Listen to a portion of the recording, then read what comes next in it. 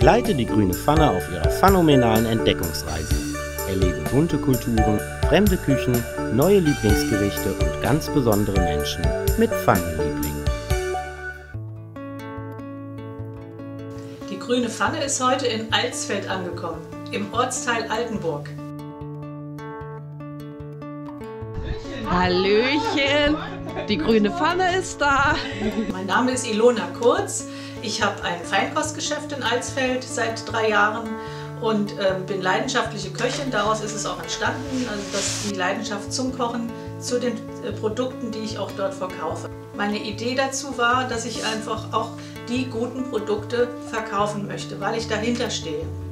Wir äh, haben Flaschen im Sortiment, die kauft der Kunde und die kann er dann wiederbringen, natürlich gereinigt und dann nachfüllen lassen. Das äh, biete ich an und das ist für mich also auch ein, ein schöner Punkt, dass man einfach die Umweltressourcen schont. Zusätzlich habe ich noch ein Hobby und zwar die Malerei und das macht mir ganz viel Spaß. Das ist also auch nochmal eine Parallele zum Kochen, kann man fast sagen. Mein Lieblingsgericht ist tatsächlich die Pizza und Pasta.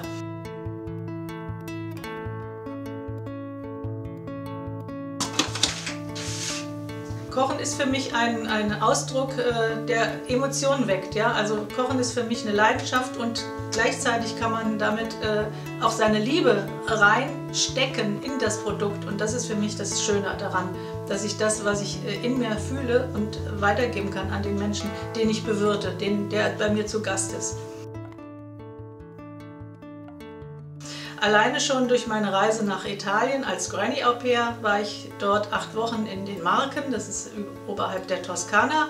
Und da haben wir äh, italienisch gekocht und ich durfte mitkochen und habe da natürlich meine Liebe zur Pizza entwickelt. Und die wunderbaren frischen Zutaten, die sind natürlich auch ganz wichtig bei mir. Weiß ergibt sich daher, war der Belag äh, Creme Fraiche und darauf kam dann eben das Gemüse, aus, bestehend aus Zucchini, Zwiebeln, Knoblauch, Aubergine und Champignons. Also ich liebe Italien. Irgendwie habe ich da eine, äh, ja, eine Zuneigung zu dem Land. Und ich liebe auch Italienisch, die Sprache. Und äh, alles, was damit in Verbindung steht, habe ich gern. Und das ist, äh, für mich ist auch die Kommunikation und auch das Temperament, die Mentalität der Italiener ganz wichtig.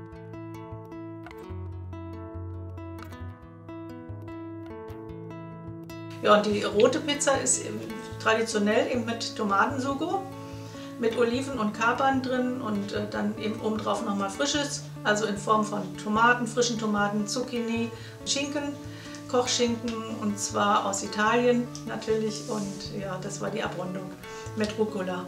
Die habe ich dann als kleine Törtchen, Tortas gebacken und dann habe ich die ähm, auf einem Stein, auf einem Pizzastein gebacken. Der wird vorher in den Ofen geschoben, an, angewärmt oder erhitzt und dann kommt oben drauf ein ganz dünnes Blech, wo dann eben auch die Tortas oder kleinen Pizzen drauf lagen.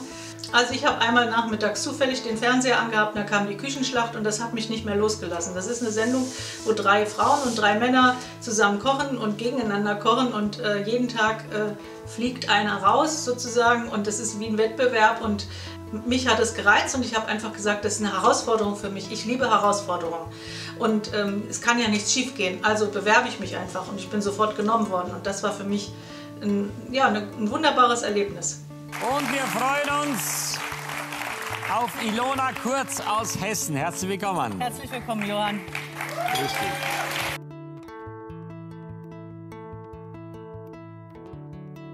Meine Träume, Ziele und Wünsche für die Zukunft wären einerseits, dass die Verbraucher, also sprich die Konsumenten, wirklich darauf achten, was sie kaufen. Und äh, auch da schauen, kaufe ich, wo kaufe ich das Fleisch ein, was ich esse und so weiter. Und dann finde ich auch wichtig, dass äh, die äh, Menschen darauf schauen, dass sie ähm, einfach auch selbst kochen. Es ist, ist, erschreckend, wie wenig noch gekocht wird zu Hause. Gut, wollen wir schon mal anstoßen? Einen Moment, einen Moment, ich bin gleich zu weit. Ich brauche den Stoff jetzt. Ja.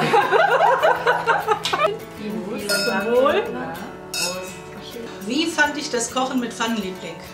Also mit den beiden Damen, die das machen, ganz wunderbar, sehr entspannt und sehr sympathisch.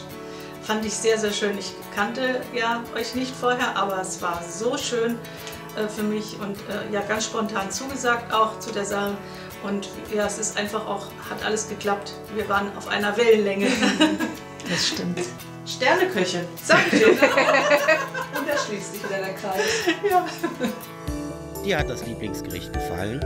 Du möchtest mehr über die Rezepte und die Menschen im Porträt erfahren? Dann besuch uns auf Facebook oder www.pfannenliebling.de. Bleib würzig!